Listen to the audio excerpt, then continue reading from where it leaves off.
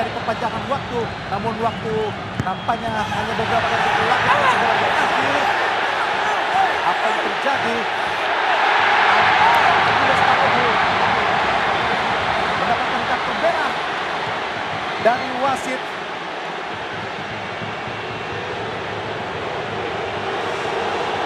Nampaknya terjadi insiden pemirsa.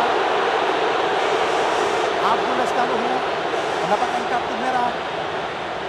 Jika kartu merah terjadi, tentu kita masih ingat bagaimana Rulinera mendapatkan kartu merah saat itu di tahun 85.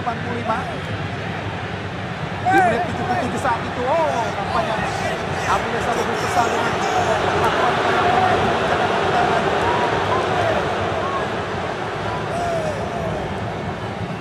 Kartu merah diberikan oleh wasit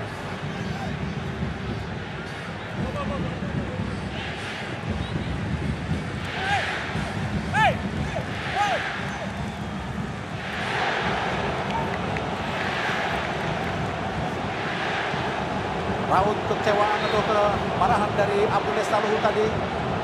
Melihat sikap dari para pemain Thailand